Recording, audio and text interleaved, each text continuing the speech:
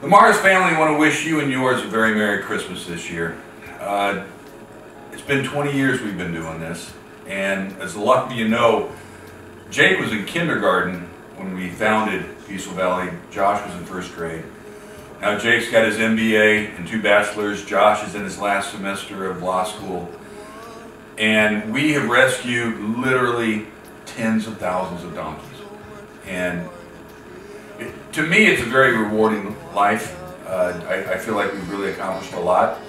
Uh, every year we do more and more and more, and I don't see that ending.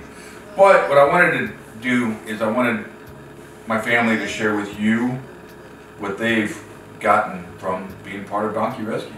Jake? Um, well, you definitely learn to uh, find something that you really care about and you pursue it with everything you have. Make sure that um, whatever it takes to reach that end goal, to you know, save that donkey, to pass that test, to get that job, like you, or even to keep the job. You just give your 100% every day, and you uh, keep chasing that dream until you finally have it. Josh? Yeah, I don't, I don't think a lot of kids get to devote their life to something that big early on, and so that's something unique that we kind of have. And the donkey rescue has always been my identifier. It's been my entire life, and my life is better because of it.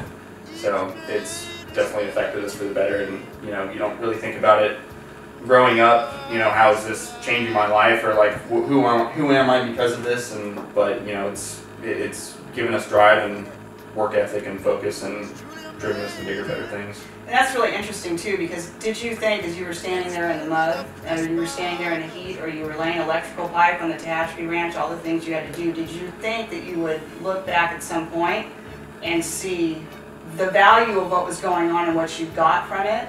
I mean, at the time it was just a lot of work, and it was really hot, or it was really cold, or, but now, I mean, look where you're at, and the work ethic that you learned and the commitment you learned, I think has brought you, or has helped you get to where you are now. Yeah, yeah, no, definitely. Um, my personal statement, which is something required for law school applications, it's basically a two-page story about yourself. Mm-hmm. My entire two pages was about the donkey rescue.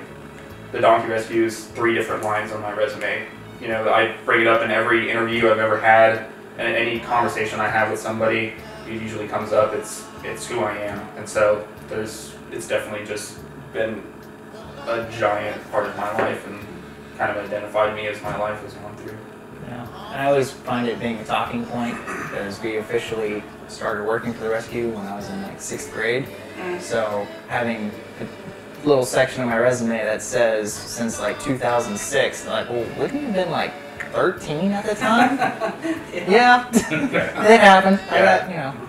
So. Yeah, that's just when you started getting a little bit of a paycheck, but mm-hmm. you started, well, 2000. We all started in 2000, yeah. so. Yeah. Yeah.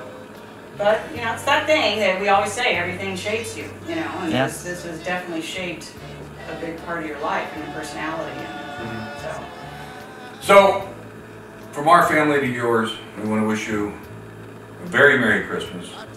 And we uh, look forward to whatever the Donkey Rescue brings to us next year. Y'all be good.